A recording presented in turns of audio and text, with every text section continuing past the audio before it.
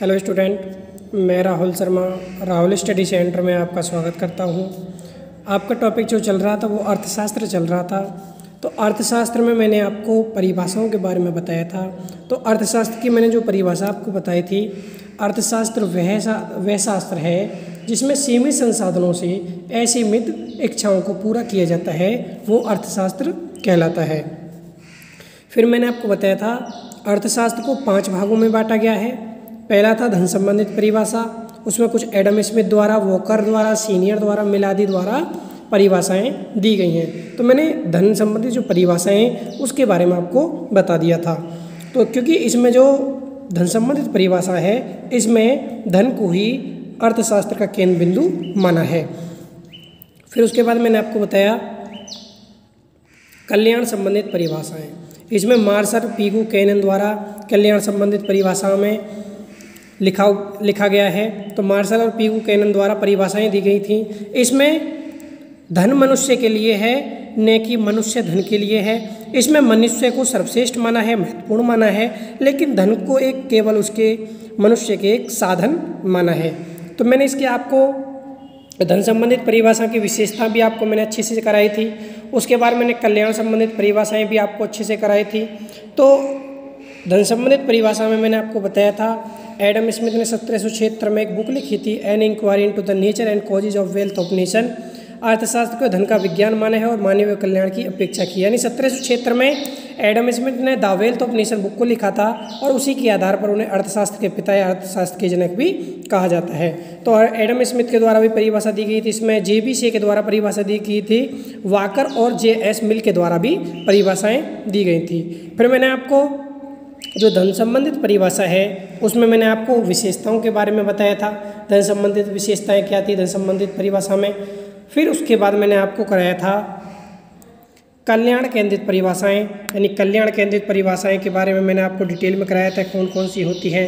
तो मैंने आपको बताया था कल्याण संबंधित परिभाषा में जो मार्शल है, उसके द्वारा जो दी गई है, उन्होंने बताया था economics is a study of man action in the ordinary business of life. It examines that part of individual and social action which is most closely connected with the attainment and with the use of material ठीक है?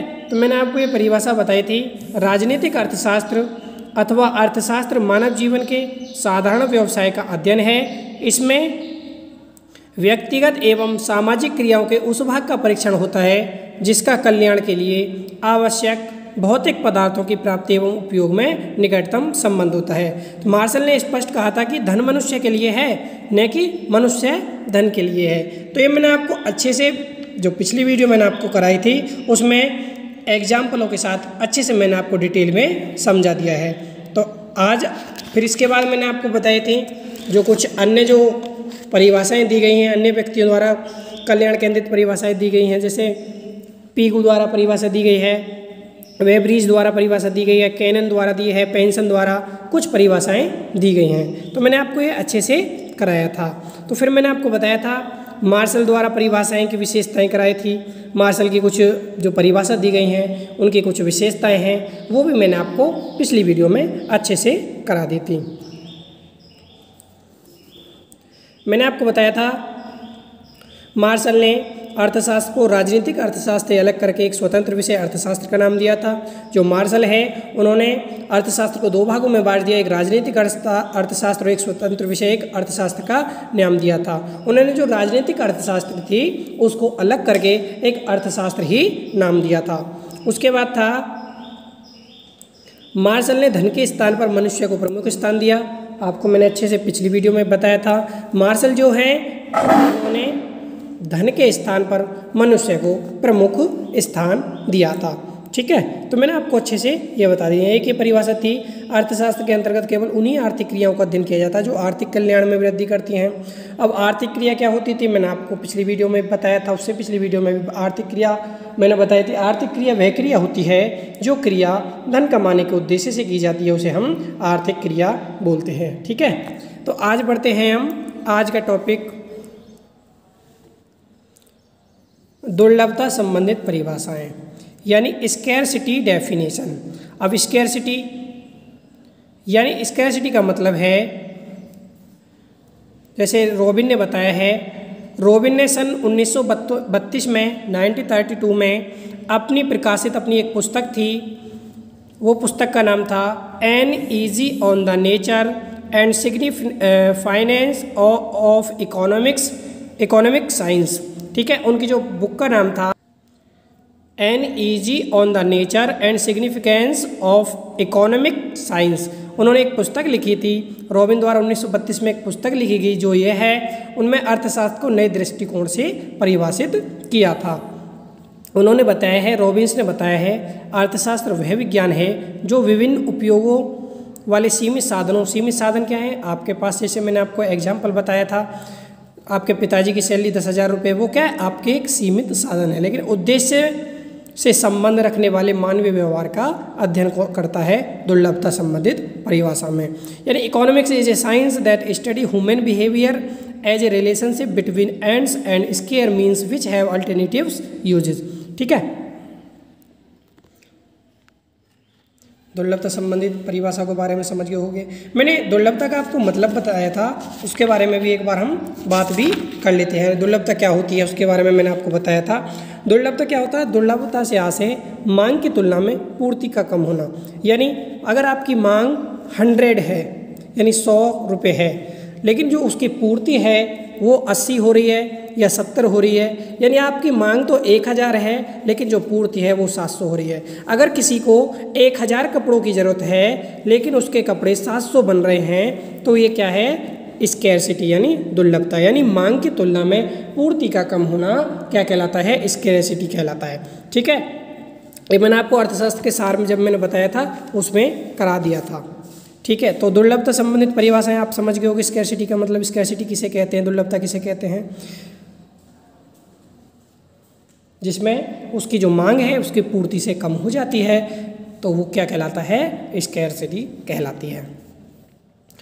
Robins की परिभाषा के मूल तत्व दिए हुए हैं। Basic element of Robbins definition. यानी जो बेसिक एलिमेंट हैं रॉबिन की परिभाषा के कुछ मूल तत्व हैं, उनके बारे में नीचे लिखा हुआ है। तो एक बार रीड करते हैं।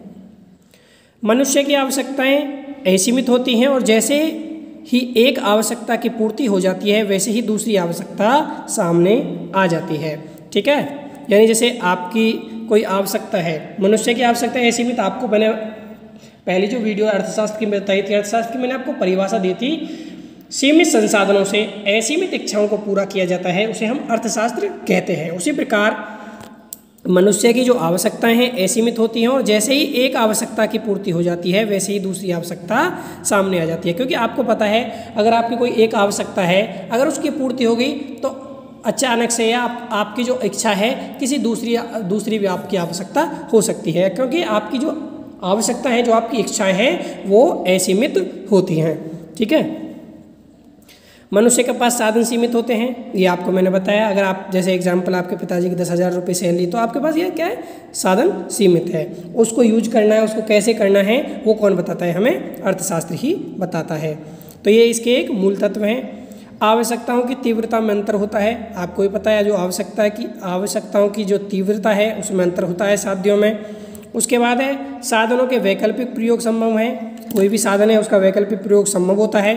अर्थात जो इसका मतलब है, आवश्यकता पूर्ति के एक ही साधन के अनेक प्रयास से प्रयोग किए जा सकते हैं।